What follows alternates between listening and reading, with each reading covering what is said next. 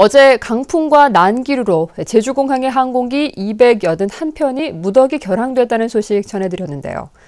오늘 오전 운항이 재개됐지만 몰려든 체류객과 공항의 운영 미숙으로 극심한 혼잡이 빚어졌습니다. 김항섭 기자의 보도입니다. 공항 대합실이 제주를 빠져나가려는 사람들로 가득 찼습니다. 발권 창구 앞에 늘어선 줄이 좀처럼 줄지 않자 일부는 아예 종이를 깔고 앉았습니다. 오전 7시 40분부터 항공기 운항이 재개됐다는 소식에 2만 천여 명에 달하는 체류객들이 한꺼번에 몰려든 겁니다.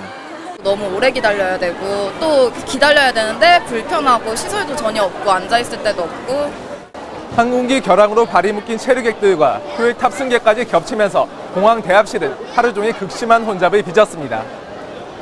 운항 재개 뒤에도 200여 편의 항공기가 연결편 관계 등으로 또다시 출발이 지연돼 혼란을 키웠습니다.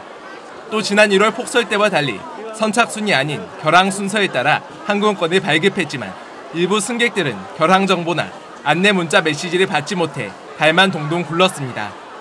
승객 400여 명은 숙소를 잡지 못해 공항 대합실에서 밤을 지새기도 했습니다. 막상 가도 딱히 그렇게 뭐 처리를 안 해주고 그러니까 저희가 이제 일정을 내일 만약에 가야 된다고 하면 오늘 또 일정을 바꿔야 되고 숙소도 지금 다 꽉 찼다고 하거든요. 그래가지고. 국토교통부는 임시편 74편을 투입하고 일부 공항에 심야 운항 제한도 한시 해제해 내일 오전쯤 체류객 대부분이 제주를 빠져나갈 것으로 전망했습니다. MBC 뉴스 김항섭입니다.